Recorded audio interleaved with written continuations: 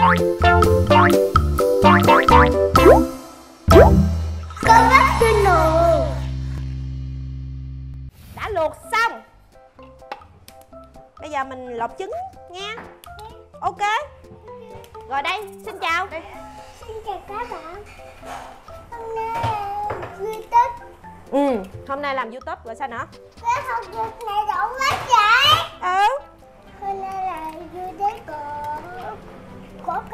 rồi con tên gì? Cu gì? Cô bác cu bốt gì? Chen gì? Bác trên nồi quá ghê! Đâu nói lại coi cu bốt gì? Bác trên nồi đó cu bốt channel nha mọi người. Mọi người nhớ ủng hộ kênh của con nha. Ừ trời trời nó nói kênh của nó là cu bốt channel kìa anh.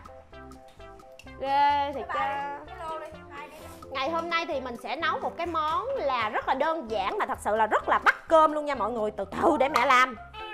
Chưa chưa ăn được.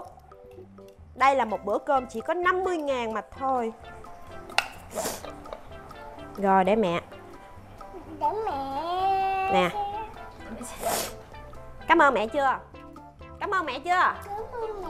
Mẹ gì? Như. Mẹ gì? Mẹ Như. Như gì